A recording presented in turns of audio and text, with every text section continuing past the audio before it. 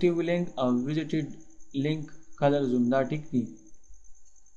دې کې اخیری آپشن دی سکیورټي په دې ځای کې چې کوم دی موږ سره کاپی رائټ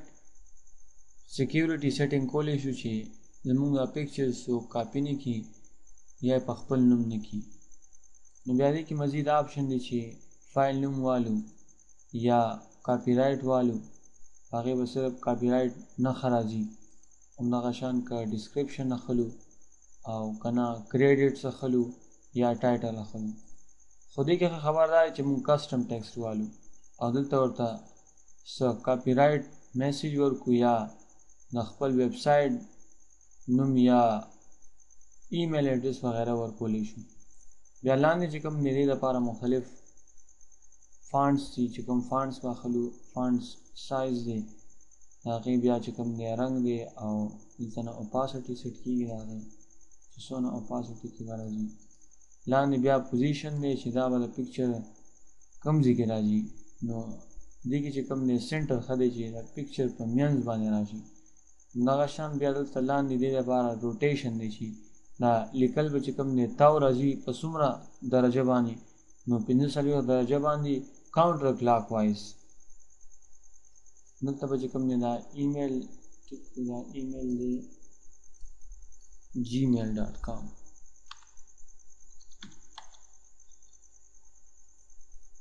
او بیا دې نه پس اوکې مټه د فوټوشاپ چې کوم دی په ده باندې کار شروع کړي او چې کله خپل کار مکمل کړي نو بیا به پخپله یو ویب براوزر کلاو کړي نو هلته نه به موږ خپل پکچرز کتی شو خو دا به اصل کې دوه فایل جوړي دا اوس موږ سره ویب براوزر کلاو شو دلته دا کانټینټس بلاک دی نو ځکه نه ښکاري د باندې یو کلیک او الو بلاک کانټینټس یس دا اوس موږ سره ویب فوټو ګیلري شو ټول نه پهله چې کوم دی موږ ویب سایټ نوم ورکړی چې www.abc.com دلته هم راغلی دی او لاندې هم راغلی دی فوټوګرافر موږ اناون غشته نو دلته اناون ښکاری کانټیکټ کې موږ دا یو سر نمبر ورکړو او اوس چې کوم ایمیل ایډریس موږ بدل کړو هغه دا دی mpt.series@gmail.com راغلی دی لاندې موږ تاریخ ورکړی دی تاریخ راغلی دی دغه شان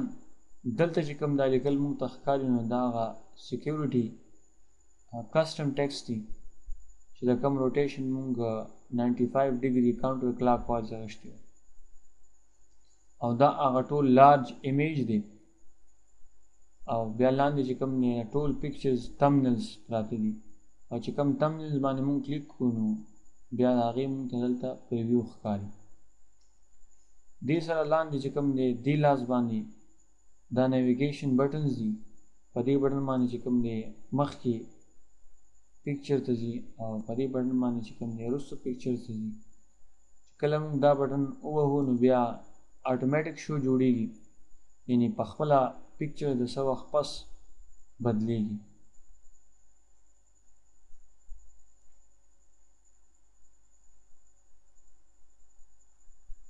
که واپس بندلون غواړو نو بیا دا بټن بند بشي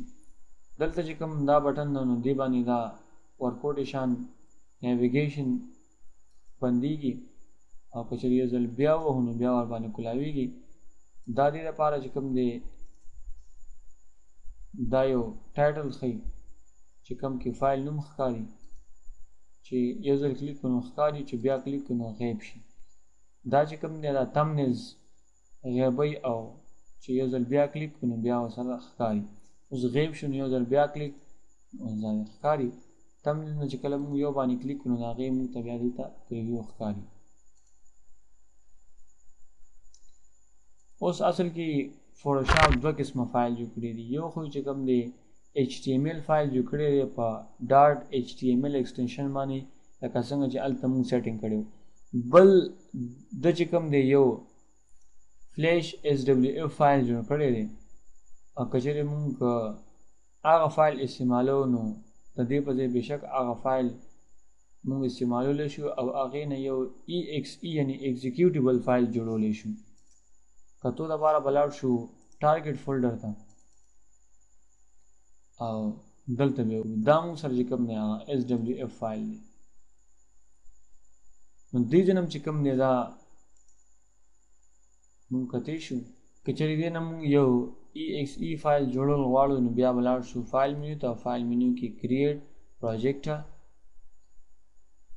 ټارګټ فولډر او دې کې به ورته نوم کېږدو چې فلش ویب ګیلډ او بیا دې نه پس سی بټن دا به سی شو په لاړ شو بیا ټارګټ فولډر ته او دلته نه مې کله وکړو نو دا شان چې کوم مې دا مونږ بیا ای ایکس ای فایل ته هم بدلولی شو خو دې کې خبره دا ده چې دې سره به دا ټول فایلونه هم پکار وي یعنی چې دلته کوم دا سورس فایل جوړ شوي دي نو دا به خامخا دې فایل سره پراته وي نو هله به چې کوم دی دا کار کوي کنی نو بیا دا کار نه کوي